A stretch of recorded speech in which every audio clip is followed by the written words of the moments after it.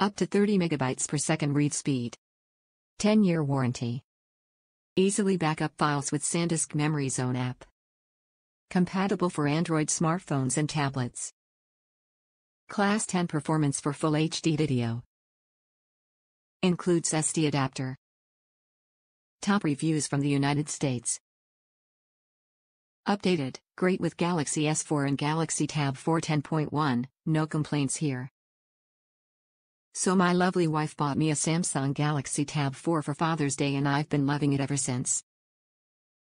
Just as other with Samsung products, the Galaxy Tab 4 has the ability to add a microSD card to expand the memory on the device. Since it's been over a year, I decided to do some more research to see if SanDisk offered anything new. As of June 19, 2014, their product lineup for microSD cards from worst to best, performance-wise, are the as follows. SanDisk.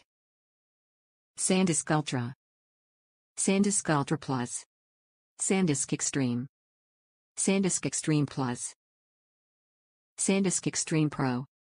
Now, the difference between all of these cards are simply the speed in which you can read slash write data to the card. Yes, the published rating of most all these cards, except the SanDisk Regular, are class 10 slash UHSI but that's just a rating. Actual real-world performance does get better with each model, but with faster cards come more expensive prices. Since Amazon doesn't carry the Ultra Plus model of microSD card, I had to do direct comparisons between the SanDisk Ultra, $34.27, Extreme, $57.95, and Extreme Plus, $67.95.